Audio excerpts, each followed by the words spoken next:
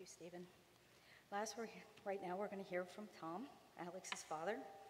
This has been particularly hard on Tom and on me as his mother, but um, Tom wanted to share a few words about Alexx.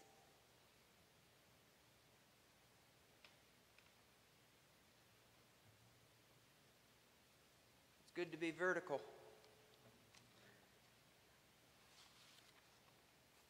After not walking for about four months.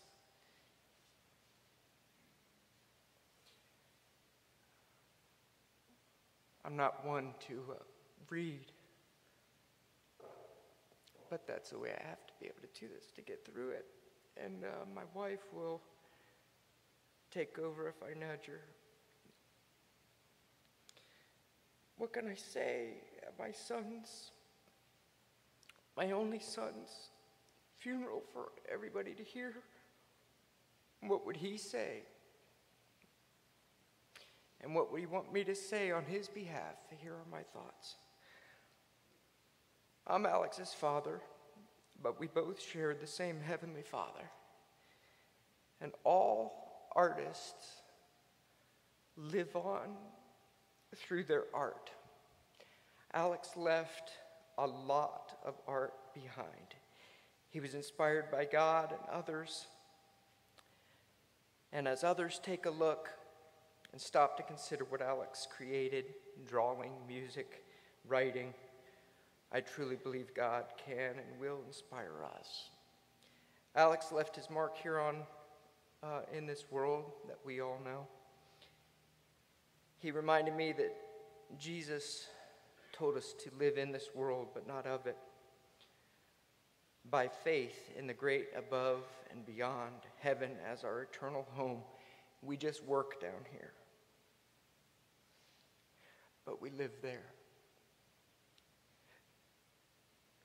Alexx and I both hope that Alexx's art will live, leave an eternal effect on those who look at it, all the art that he's left behind.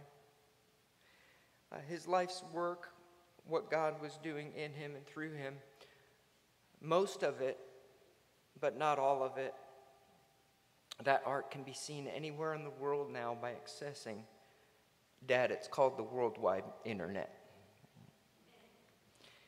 mainly on his blog Pressing Words, which was subtitled The Spilling of a Lost and Found Mind.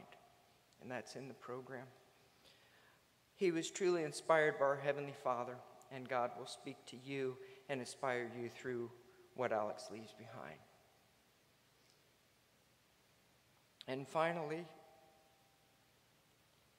with the arrival of Jesus, the Messiah, that faithful dilemma is resolved. Those who enter into Christ's being here for us no longer live or have to live under a continuous, low lying black cloud. A new power is in operation.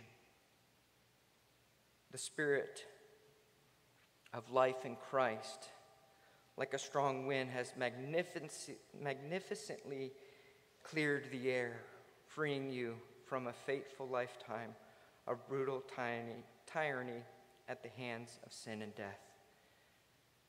The message translation puts it this way God went for the jugular when he sent his own son. He didn't deal with the problem as something remote and unimportant. And in his son, Jesus, he personally took on the human condition, entered this disordered mess of struggle of humanity in order to set it right once and for all. That's from the book of Romans, uh, chapter 8, the Apostle Paul, inspired by God. And may God add a deeper, richer blessing to you like you've never experienced before. Everybody has a different relationship with their earthly father. Everybody can have a different relationship with their heavenly father. May you, may we bless God in all that we do, all my love, my care, and my prayers. Alexx's dad.